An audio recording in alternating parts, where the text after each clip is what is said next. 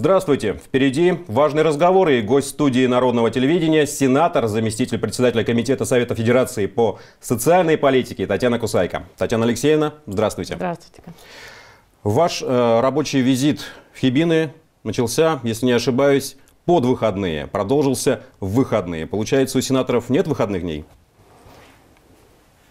Ну, честно говоря, я даже и не делю, где выходной день, а где какой. Если есть, то возможность, то отдыхаешь, может, в дороге или как.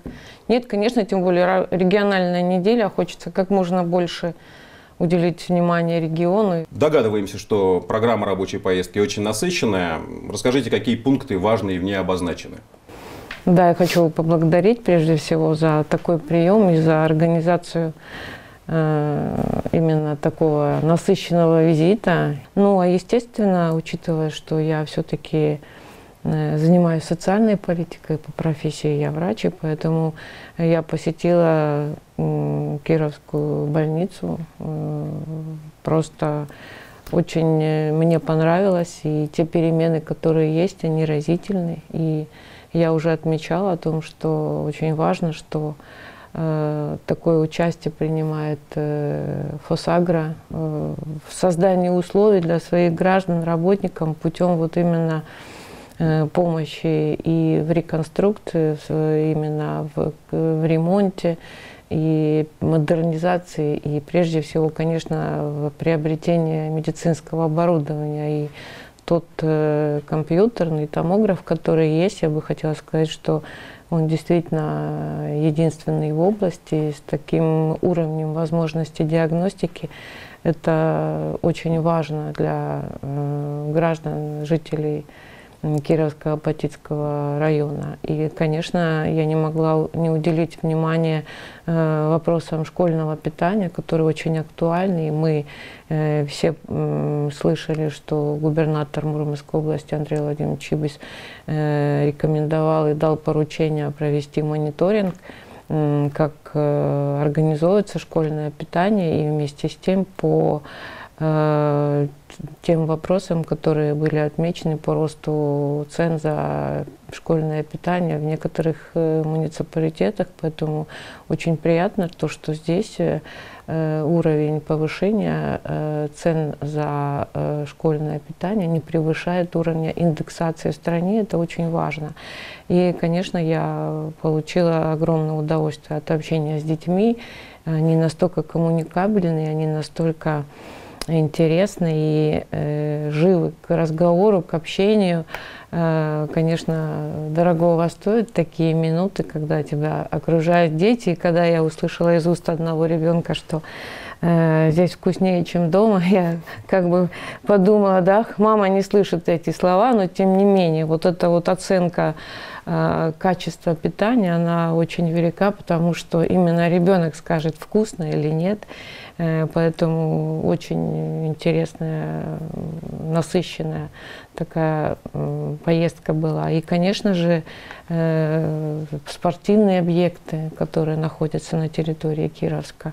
Это санаторно-оздоровительный комплекс «Тирвас», я сама себе решила, что здесь надо побывать, потому что действительно э, современный уровень э, развития э, этого учреждения, он просто налицо, и вопросы цифровизации, они тоже также, мы, я увидела замечательную возможность пациенту при оформления, узнать свой статус своего здоровья, те параметры, и э, после получения лечения, оздоровительных процедур э, можно понять, э, важно это, качественно, и действительно это, наверное, стимул для развития именно самого учреждения. И, на мой взгляд, даже изучение тех параметров, которые отражаются на этом мониторе, они могут, наверное, представляют собой определенного уровня научные э, данные. И, э, конечно же, э, очень отрадно то, что, опять же, Фосагра участвует именно во всех социальных направлениях муниципалитета и совместная работа именно санаторно-оздоровительного комплекса, который позволяет оздоравливать не только работников именно организации, а и комбината. И немаловажный факт, что оздоровительные процедуры можно получить в процессе работы даже, как бы учитывая режим работы э, работников, есть возможность э, оздоровительные сеансы получать именно в этот период. Э, конечно, э, я бы отметила действительно участие в реализации программ именно Мурманской области для оздоровления северян 60+. Это сотрудничество э, именно санаторно-оздоровительного комплекса с Министерством труда и социального развития Мурманской области.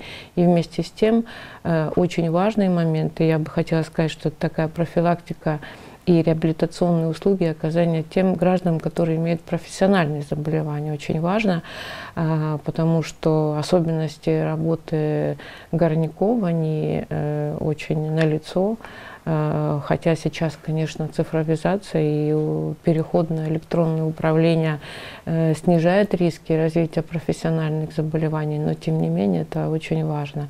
Ну и опять же в развитии спорта. Действительно, мы понимаем, что национальный проект «Демография», он э, реализуется на территории всей Российской Федерации, и Мурманская область э, является таковой, которая имеет базовые виды спорта.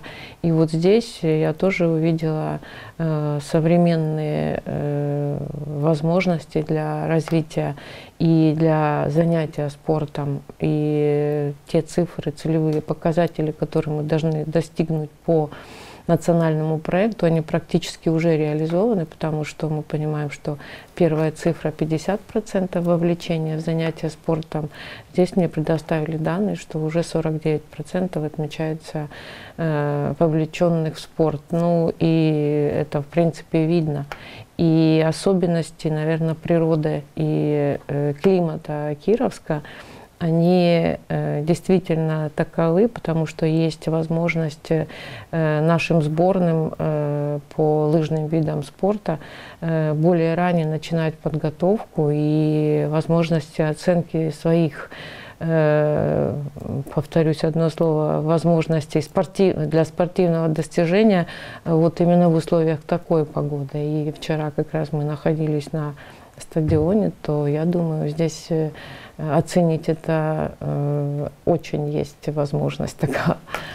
Вот и, конечно же, опять же вернусь к тому, заключительным моментом это было посещение рудника. Это, конечно, очень важный такой объект. Опять же, меня как представителя э, социального направления очень интересовало, как организована Э, действительно и оздоровительная э, программа, как организованная аттестация, так сказать, оценка, спецоценка рабочих мест. И я, конечно, могу сказать, что вот эта модернизация и введение э, уже электронных программ позволила мне увидеть воочию, что тот человек, который три года буквально назад спускался для того, чтобы под землю забой, я, может быть, э, не совсем э, правильно э, терминологию употребляю, но для меня это как бы многие такие вещи, которые я увидела впервые, а сейчас он просто,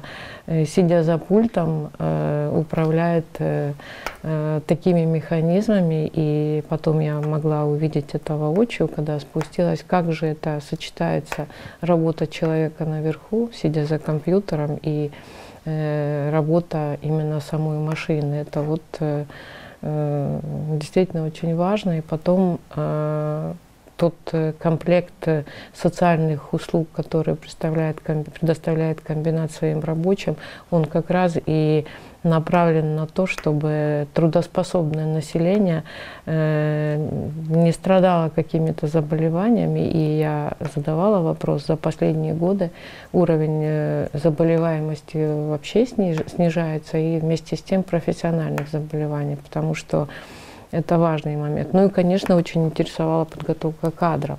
И вот здесь, э, наверное, те задачи, которые сейчас ставится и правительством Мурманской области, что необходимо готовить тех специалистов, которые будут востребованы именно в той либо другой отрасли, и возможности оттока, чтобы именно молодежи не было. Уже со школьной скамьи начинается профориентация. И да, на мой вопрос, уходят ли из профессии люди, тут очень важно, так же как и в медицине, чтобы окунулся человек, который выбрал ту либо другую профессию и смог для себя сделать вывод, готов он или нет, готов он спуститься, готов ли он закрыть, э, в таком закрытом пространстве работать, ведь это психологически большая нагрузка. Поэтому вот эта возможность оценки своих возможностей, своего состояния, наверное, здоровья и ощущения, она здесь создана. И вот э, накануне поездки я побывала в МАГУ, в нашем опорном вузе, и э, тоже как раз вела беседу о том, что именно вот такой симбиоз, который выстроен от комбината и МАГУ, он дает возможность готовить тех специалистов, тех профессионалов, которые как раз нужны комбинату. Ну и очень удивительно было, конечно, то, что действительно практически, не то что удивительно, а важно отметить, что практический опыт человека, который работал до этого, он настолько важен. Ну, это, наверное, в любой профессии, но тем не менее, вот эти вот моменты переобучения, перестройки своего, наверное, сознания на то, что вот буквально ты только три года назад э, был там внизу, а сейчас ты можешь управлять такими процессами, это, наверное, как я говорила, Илон Маск уже где-то думает, что машины будут ездить, а здесь я уже здесь увидела, уже да, как это действительно. Ну и, и опять же снижение риска профессиональных заболеваний, потому что как раз э, за профессиональные заболевания со стороны э, органа слуха, естественно, потому что вибрации это, это другие работа, это возможность развития профессионального заболевания со стороны суставов, то есть э, все э, могу сказать и ответить, отметить, что здесь для того, чтобы было безопасно, созданы все условия. Это действительно дорогого стоит для того, чтобы вот руководство такое, такую заботу проявляло. Ну и хочу отметить действительно везде бывая, э, учитывая наш такой тяжелый период в жизни всего мира нашей страны, это пандемию коронавирусной инфекции, э, уровень э, соблюдения всех рекомендаций санитарно-эпидемиологического сохранения режима соблюдения, он налицо. Везде действительно агитационные материалы, везде четко и ясно соблюдение рекомендаций о соблюдении социальной дистанции, о ношении масок, о э, средствах индивидуальной защиты и мытье рук, и э, опять же при напоминании при первых проявлениях заболевания, признаков заболевания, обращение к врачу, это очень важно, потому что дисциплина это прежде всего, и я хочу отметить, что я не заметила граждан, которые носят неправильно маску. А, вот это действительно очень приятно, и настолько это соблюдается. Ну, э, для меня это очень важный факт, потому что когда человек носит неправильно маску, он, э, знаете, как бы делает, э, переступает через себя это, но не думая о себе. Здесь же настроение у людей такое, что прежде всего нужно действительно думать и о себе, и о обществе. Ну, вот, есть да. понимание да, да, самого главного момента. Да. И есть результат, более того. Мурманская область за последние буквально 3-4 недели с 14 места в общероссийском рейтинге упала на 17 строчку. И вот, мне кажется, личный вклад каждого в соблюдении профилактических мер. Несомненно, вы абсолютно правы, это так и есть. Татьяна Алексеевна, вы обозначили очень много интересных направлений для разговора. Это и спорт, мы к нему чуть позже вернемся. Но все-таки тема номер один сегодня это, конечно же, пандемия, это коронавирус, это нагрузка э, системы здравоохранения. И начать бы хотел, продолжить бы разговор хотелось бы именно э, по этой теме. Для вас медицина это родная область. Э, у вас вы знаете теорию, у вас колоссальный практический профессиональный опыт, который вы получили, пройдя путь от врача, если я, если я ошибаюсь, поправьте, от врача-педиатра в школе и участкового врача-педиатра до заведующей педиатрическим отделением и главного врача крупнейшего учреждения здравоохранения в Мурманской области. Вот э, к вам как специалисту, как профессионалу такой вопрос. когда-нибудь медики и система здравоохранения в целом сталкивалась с такими нагрузками, как вот в прошлом году и как сейчас, собственно говоря? За э, мою практическую деятельность в 2009 году была э, эпидемия, не пандемия, а эпидемия э, птичьего гриппа. Я, в принципе, тогда принимала участие в, так сказать, в тех мероприятиях, которые проводились на территории Мурманской области. И, конечно, такого масштаба за мою практическую деятельность э, пандемии не было. Но э, вызовы, которые все, наверное, ощутили, они э, вместе с тем и сделали некоторые, дали возможность сделать некоторые выводы.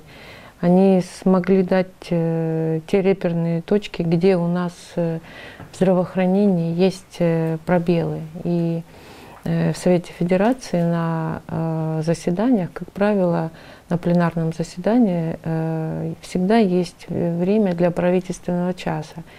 И вот именно начало нынешней сессии, весенней, было посвящено присутствию на правительственном часе министра здравоохранения Мурашко. И вот, конечно же, здесь были озвучены те моменты, которые Э, над которыми теперь система здравоохранения должна работать. И вы абсолютно правы, что э, сейчас стабилизация идет не только э, в нашем регионе, а по всей Российской Федерации, но тем не менее мы должны понимать и готовность о том, что вдруг такая ситуация может появиться, она уже есть.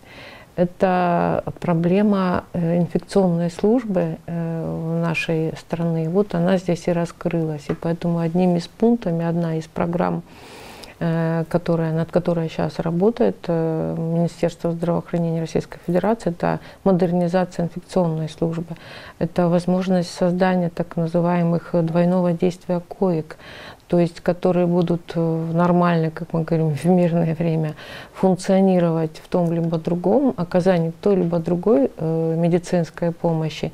Но при такой ситуации в короткие часы они могут быть опять развернуты, тем более сейчас они э, эти койки оснащены необходимым оборудованием, кислородом в том количестве, в котором это Э, было необходимо. И я бы привела пример, опять же, наш регион, в принципе, э, полностью контролировалась уровень загрузки этих коек для того, чтобы свободные места, коечный фонд всегда оставался.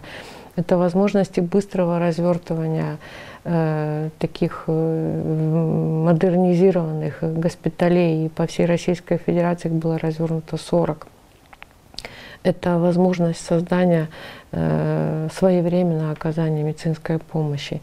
Ну и вместе с тем, конечно же, э, плановая помощь э, приостановлена была и экстренных, но в экстренных случаях все это всегда своевременно э, было организовано. Ну и, конечно, это кадровые проблемы, это создание новых стандартов образовательного характера для медицинских работников. Полтора миллиона медицинских работников было переучено, пройдено э, ими дистанционно те вопросы, которые возникли сейчас для того, чтобы лечение было качественно и своевременно.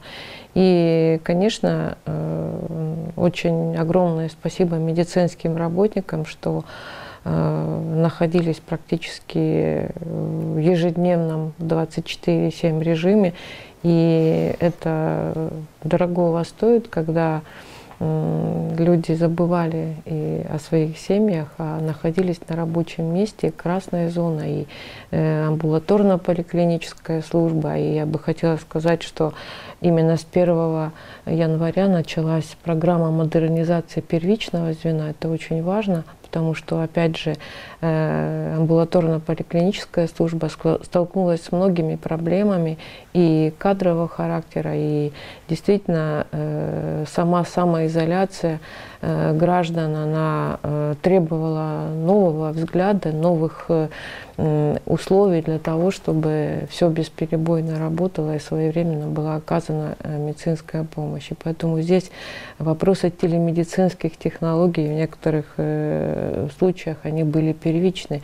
Конечно, не в постановке диагноза, мы это понимаем, но вот именно за мониторинг, за состоянием больного, когда можно своевременно оценить, требуется ли госпитализация, если вдруг ухудшение состояния. Поэтому, конечно, э, есть над чем работать и создание устойчивой системы э, с, вот, э, с такими выводами, которые сейчас есть, это очень важно.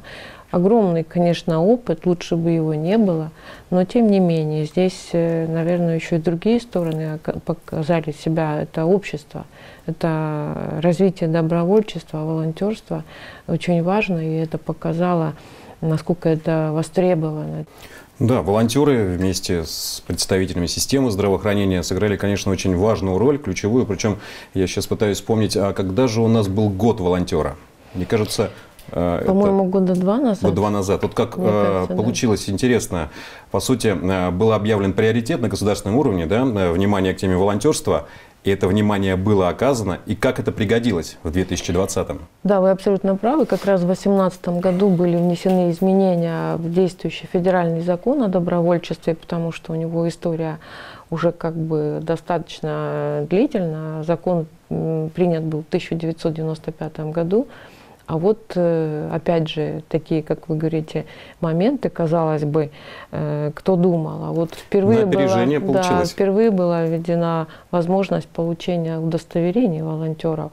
Впервые были э, декларированы возможности некой компенсации того же проезда. Как бы. И в 2020 году тоже вот в таких экстренных ситуациях принимались те изменения в данный закон, которые как, как раз стали актуальными. Но опять же, э, есть некоторые, э, наверное, предложения, и тот же социальный форум, второй, который прошел первый с участием президента э, Российской Федерации Владимира Владимировича Путин, и второй, 26 января, который проведен был под эгидой «Единой России», он тоже показал те э, предложения и дал как бы задачу, над чем необходимо работать. Мы понимаем, как важно было предложение, например, о обязательном лицензировании всех э, домов, где содержатся люди старшего возраста, чтобы не было тех печальных э, ситуаций, которые есть. И предложения, э, например, относительно людей с ограниченными возможностями. Это очень важное предложение, например, обеспечить э, средствами э, граждан старшего поколения для возможности мониторить их состояние не только в период коронавирусной инфекции, а вообще за их хроническими заболеваниями. Ну и я буквально на этой неделе тоже участвовала мероприятие в Мурманске. Мы общались со всем регионом в качестве, ну, в, системе онлайн, э, для того, чтобы э, понять, может быть, еще что-то есть, потому что, конечно же, работа волонтером востребована и сейчас. И... Спасибо. Э, ну, коронавирус, конечно, очень э, серьезный, опасный враг, но есть те, кто ему успешно противостоит, и мы возвращаемся а, к тому, о чем говорили чуть ранее, обнадеживающие цифры статистики. А, мы видим, что суточные темпы прироста снижаются. Если еще э, в конце прошлого года в нашем регионе ежедневно новых случаев заболевания было около 250, то сейчас меньше 200 уверенно, а последние цифры, если не ошибаюсь, 150. Но, тем не менее, можно ли, Татьяна Алексеевна, говорить о том, что все-таки опасный и невидимый враг повержен, отступает, или все-таки статистика в данном случае не очень показательный момент? Ну, во-первых, э, конечно, эта оценка проводится специалистами на уровне оперативного штаба, созданного при правительстве Российской Федерации, и точно так же в каждом регионе. Есть показатели оценки э, э, той ситуации, которая есть, и поэтому в связи с э, этими показателями и проводятся те либо другие мероприятия, теперь уже об, об отмене тех карантинных мероприятий, которые были, накладывались. Но э, говорить о том, насколько, э, как вы говорите, враг отступил, Э, можно только тогда, как мы говорим, когда мы э, все же создадим так называемый коллективный иммунитет. Есть э, расчетные показатели, это создание в 60% так называемого пассивного иммунитета. Что это такое? Это Э, цифры э, складываются из э, вакцинированного населения и вместе с тем переболевших, которые имеют уже защиту от коронавирусной инфекции. Конечно, следует отметить, что Российская Федерация благодаря Э, таким научным данными, которые, разрабат... которые велись э, нашими научными работниками, первые, первая в мире зарегистрировала вакцину. И вакцина «Спутник Ви» сейчас практически, мы надеемся, что будет зарегистрирована ВОЗ.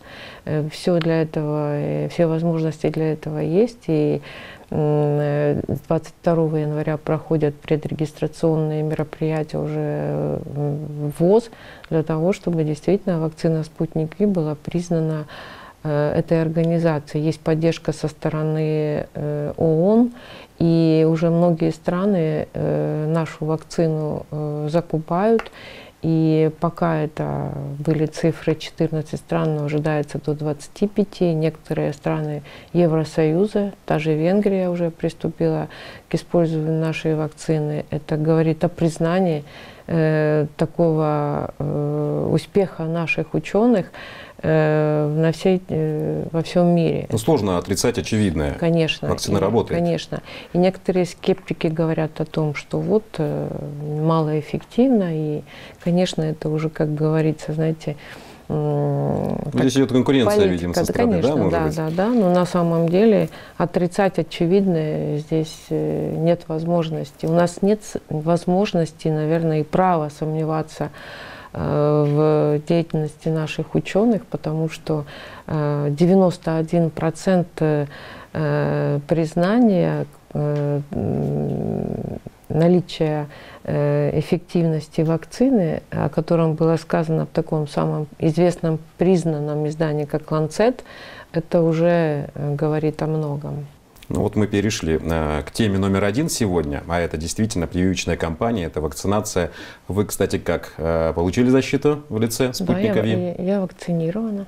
Конечно же, это не полное, полностью исключение возможности заболеть. Никакая вакцина не предполагает, что если человек вакцинирован, то это именно э, отсутствие возможности быть инфицированным. Нет, конечно, это просто возможность э, перенести данные заболевания легко, без всяких осложнений. Вот, наверное, это один из тех моментов, которые отталкивают некоторых граждан к положительному моменту и отношению к вакцинации, когда говорят, вот э, кто-то вакцинировался, а все же заболел.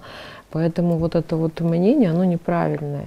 Э, вакцинацию не исключает полностью возможность инфицироваться. Ну, как, например, да, мы уже вакцинируем от той же кори детей, от дифтерии, там, и, но вот создание коллективного иммунитета от той либо другой, как мы называем, вакциноуправляемой инфекции, позволяет вот именно защитить население. И такие спорадические случаи, которые появляются, они не являются источником именно эпидемии, я бы сказала, ну и пандемии. А вот отказ от той либо другой вакцины, он и показывает на лицо, что инфекция может вновь появиться. Как, например, все, наверное, слышали, да, как э, у нас были такие очаги кори, когда было, к сожалению, очень э, распространен отказ от вакцинации. Вот это отсутствие так называемого коллективного иммунитета является той возможностью, которая может поддерживать вот этот вот эпидемиологический процесс. Ну, а еще нету ни одного оружия в качестве профилактики, э, как вакцина против вот тех э, именно вакцин, которых, которые мы называем вакциноуправляемыми. И вот, э, наверное, таким примером является, например, то, что наши ученые разработали вакцину от Эболы, и в свое время, когда мы уже как бы были на грани распространения благодаря вакцинации, Э, в тех странах, где были такие уже частые, огромное количество заболевших, это было, позволило остановить распространение эпидемиологического процесса тогда. Поэтому отношение к вакцинации у населения все же должно меняться. И об этом говорят те данные желающих в нашей Мурманской области. При начале вакцинации мы были в тройке по желающим вакцинироваться. И вот на той неделе на оперативном э, совещании Андрей Владимирович тоже говорил о том, что да, и министр здравоохранения э, приводил цифры, что у нас э, по всей области более 2100 желающих. Странно, конечно, да, все-таки нам приходится обсуждать тему э, того, нужно ли или не нужно получать защиту. Да, вот к сожалению. Это, конечно, удивительно. Но, тем не менее, э, мы сейчас узнали многие важные вещи про вакцинацию и заодно э, получили ответ на вопрос, который люди задают сейчас. Ну, если стабилизация, если цифры позитивные, обнадеживающая тенденция наметилась, нужно ли носить маску? Маску по-прежнему нужно носить. Масочный Конечно. режим – это Нет, еще один эффектный метод, да, победить врага. Ну, наверное, еще надо сказать, что, наверное, как все отмечают, что мы научились чаще и правильно мыть руки. А, Татьяна Алексеевна, в Верхней Палате Российского парламента ваш основной вектор усилий – это социальная политика. Вы заместитель председателя Комитета Совета Федерации по социальной политике. А, период пандемии, он был сложным для всех, и, возможно, а, самое основное внимание было обращено именно на то, как государство продолжает выполнять свои обязательства вот во внутренней политике, в самом важном ее направлении – это социальная политика. Вот как вы э, с профессиональной точки зрения оцениваете тот прошедший этап? Удалось ли исполнить все намеченное и какие важные акценты были сделаны за последний год? Ну, конечно, э, наше государство имеет социальную направленность. И все те обязательства, которые государство на себя взяло э, в такой тяжелый период, они, конечно же, выполнены. Мы понимаем, как важна была поддержка семей с детьми как важна была поддержка граждан пожилого возраста, как важна была поддержка производства, малого бизнеса. Э, и поэтому э, вот те мероприятия, которые относительно каждого направления, которые я э, назвала, были приняты, они, конечно, выполнены. И задачи, которые ставило государство перед таким вызовом, они Э, выполнены. И э, я бы сказала, что, наверное, многие вещи, которые бы в нормальной жизни долго обсуждали, здесь решались как с колес, как я уже говорила, как те же Э, нормативные документы. И самое главное, что они принимались на основании предложений самих граждан. Потому что вот мы, как сенаторы, как депутаты, мы получали эти предложения и там э, очень быстро направляли и в правительство, и э, по всем тем запросам э, очень оперативно принимались решения, которые как раз направлены были на человека, потому что благополучия и тот уровень безработицы, э, который э, мы отмечали, он, конечно, отрицательно сказывался и может сказаться на э, гражданах. Поэтому вот такое повышенное внимание и забота о э, благополучии нашего э, населения со стороны государства, она налицо. И вот этот э, вопрос бедности, все же он на контроле и является, наверное, таким основным э, моментом, который необходимо ликвидировать, снизить то количество, э, наверное, то, тот уровень бедности, который был до этого, и сейчас, к сожалению, есть угроза такова, что сохранится. Особенно уязвимы это многодетные семьи, это э, находящиеся э, семьи в трудной жизненной ситуации, опять же, люди с ограниченными возможностями. Ну и, конечно, как я уже сказала, это бизнес, который, к сожалению, пострадал. Поэтому та помощь, а если говорить о нашем регионе, я считаю, что очень своевременно была возможность трудоустройства, когда создавались э, места, и человек мог, например, там, да, по, благоус... по благоустройству э, территории работы получать 42 тысячи. Это действительно было настолько своевременно, и такой яркий пример э, в регионе э, таких мероприятий, которые все же помогли э, пройти этот период э, гражданам то количество финансовых средств, которые государство выделяло для детей в возрасте там, до 7 лет. И э, независимо от того, была ли нет э, эпидемия, э, все э, те э, предложения президента, которые прозвучали в послании еще 15 января 2020 года, они были реализованы. Это самое главное. Поэтому, Несмотря на все вызовы. Да, да, именно так. Конечно, если оглядываться назад на прошедший год, конечно, удивительно, насколько оперативно и какое количество мер поддержки, э, пакетов антикризисных было принято и в какие колоссальные суммы это оценивается. Это же ведь даже не миллиарды, это сотни миллиардов рублей. Да. И эта работа продолжается, э, продолжают зреть социальные инициативы. И вот одну такую интересную мне бы хотелось с вами обсудить. На э, прошлой неделе новостные ленты облетела информация о том, что гражданам, которые выбирают здоровый образ жизни, государство может вернуть часть затраченных средств. И я знаю, что вы в этом вопросе тоже принимали активное участие. Расскажите поподробнее, какова ваша позиция? Да, действительно, это очень важный вопрос, и это, этим вопросом мы занимались, в принципе, давно. Это на площадке Общероссийского народного фронта на федеральном уровне обсуждались эти моменты.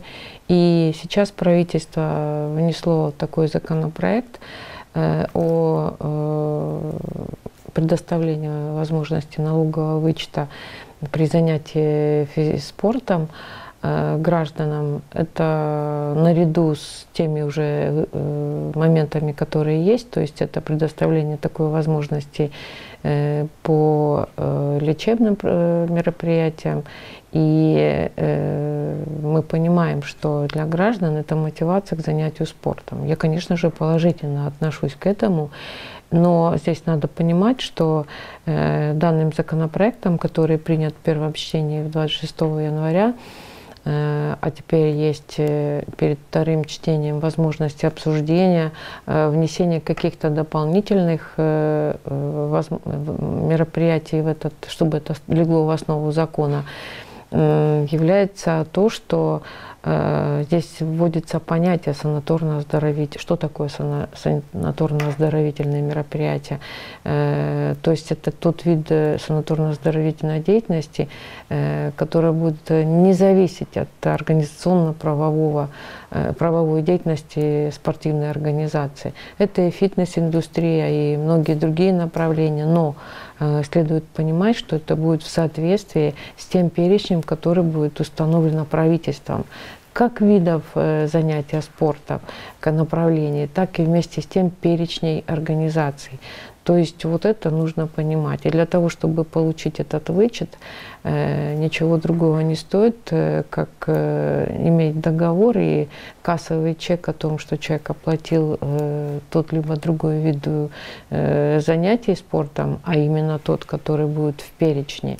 Вот есть возможность получить 15 600 э, именно один раз в год, когда человек занимается спортом. Конечно, я считаю, что это очень положительный момент. Это возможность э, занятия спортом. И вместе с тем это та же поддержка э, именно предпринимателей. Как раз предлагается внести в перечень этих спортивных организаций это индивидуальных предпринимателей и самозанятых, которые сейчас мы понимаем, что э, на них распространяются уже все льготные налоговые Э, направления и участие в такой программе, в реализации данного закона, если он будет принят, очень важно. Интересная инициатива. На самом деле, во-первых, э, никогда не надо считать, когда тратишь на здоровый образ жизни. Это тратишь на себя. А тем более, если государство еще будет возвращать часть средств, это, конечно, очень интересно. Какие еще социальные интересные инициативы вот, зреют в Нижней палате парламента, в Верхней палате парламента? Сейчас, конечно, очень много моментов, опять же, в системе здравоохранения. Это вопросы лекарственного обеспечения. И все мы, наверное, слышали и знаем, что на слуху были те сборы финансовых средств на оказание помощи э, детям, гражданам, страдающими редкими заболеваниями. И вот э, созданный фонд, который Э, круг добра указом президента, я считаю, такое достижение именно э, для того, чтобы э, была возможность получения не только медицинской помощи, а обеспечения медицинскими изделиями тех граждан, которые страдают редкими орфанными заболеваниями. И это создано благодаря тому, что повышена ставка налога для граждан, которые э, получают свыше 5 миллионов.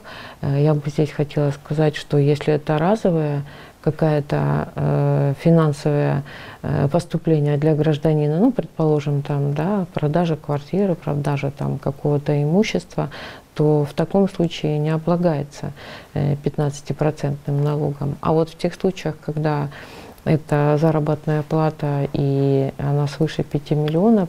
60 э, миллиардов, которые по расчетам поступят на обеспечение вот именно круга этих граждан, это очень огромное подспорье. Конечно, это вопросы лекарственного обеспечения вообще для граждан, и, наверное, все было на слуху, когда было недостаток лекарственных препаратов. Мы проводим мониторинг, контролируем эту ситуацию после введения маркировки лекарственных препаратов. Своевременно было изменение э, со стороны правительства в самой процедуре проведения. Была обязательно заменена на уведомительный характер маркировка лекарственных препаратов. Это позволило э, в короткий период действительно снизить вот эту напряженность, которая наблюдалась э, именно в, э, в данном случае Э, среди населения. Хочу сказать, что э, очень важная принята программа, 10, план мероприятий по реализации программы «Десятилетие детства». Мы понимаем, как это важно. И здесь 8 разделов, которые посвящены, я бы сказала, вообще ребенку, э, затрагивая все моменты его развития, здоровья. И вот э, здоровье сбережения, такой раздел, который он э, посвящен вопросам реабилитации детей с онкологической помощью. Это создание реабилитационных центров, возможности именно оказания э, детям, э, страдающих онкологией, такого, такой помощи своевременной, потому что э, положительные моменты в лечении онкологии у детей они есть, и в принципе научились лечить те же заболевания крови, поэтому очень важно. И э, то, над чем занималась палата, и нижняя и верхняя, это возможность применения на территории Российской Федерации так называемых незарегистрированных лекарственных препаратов. И сейчас этот вопрос контролируется правительством, и нашему московскому эндокринному заводу э, дано поручение, вменено в обязанности именно как раз после э, выхода такого постановления обеспечить ввоз на территорию Российской Федерации тех препаратов, которые у нас не производятся, еще не прошли процедуру регистрации, но для меня, как для врача, это очень важно, потому что Э, та процедура, которая существовала до настоящего момента, она, конечно, была затруднительна, когда необходимо было обязательно наличие врачебной комиссии, заключение в течение трех дней это должно было э, срабатывать, и мы, к сожалению, многие э, слышали те ситуации, когда те же препараты психотропного характера, которые ввозились на территорию, были незаконны. Теперь с этим тоже как бы есть возможность э, э как бы справиться. И здесь тоже, опять же, э, вопросы гигиены детей и подростков для э, организации обучения э, образовательного процесса на дому дому, они тоже для специалистов были очень важны, потому что как раз дома-то и тоже необходимо создать условия ребенку для, опять же, той же правильной освещенности, правильной мебели, для того, чтобы профилактировать те заболевания у детей, которые, к сожалению, мы можем выявлять в процессе диспансеризации в начале учебного процесса и по окончании э, э, средней школы. Уже, к сожалению, наши дети страдают тем либо другими заболеваниями опорно-двигательного аппарата и патология органов зрения. Поэтому вот эти все моменты, они касаются, конечно, и тоже пенсионное обеспечение. И мы слышали, что мы, все, наверное, слышали в период коронавирусной инфекции, очень много было таких, э, я бы сказала, решений, которые работали вот в этот период. Именно все слышали, да, что медицинским работникам считался работа в красной зоне, это год за, э, один день за два дня, и есть возможность при наступлении пенсионного возраста вот этот э, э, часы работы, дни там э, в красной зоне зачесть для того, чтобы э, наступление пенсионного возраста было раньше, чем это э, по действующим нормам Российской Федерации. Очень много аспектов. Это, опять же, и тот же обсуждение закона о э, развитии в спортивной индустрии, это тренеры, э, касательно их работы. Э, это принятый закон в 2020 году о воспитательной работе среди школьников. И теперь очень важно ввести эти все направления в образовательный процесс. Много работы, над которым, конечно, предстоит еще трудиться, и в этом это задача наша. А инициативы, они идут э, от людей, это жизнь. Спасибо. Спасибо, Татьяна Алексеевна. Спасибо за разговор. Спасибо за то, что нашли время и пришли к нам в студию и ответили на очень важные вопросы. В студии Народного телевидения мы говорили о важном, о медицине, о социальной политике и, конечно, о коронавирусе, который, хочется верить, мы побеждаем. Всего доброго!